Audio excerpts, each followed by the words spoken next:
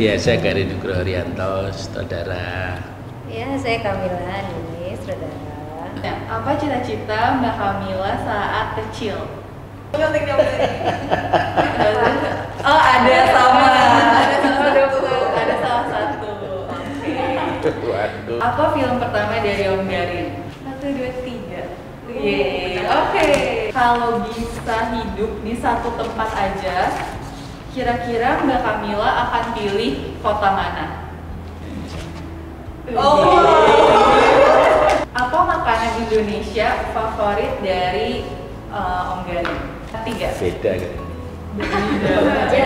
Apa warna favorit dari Mbak Kamila?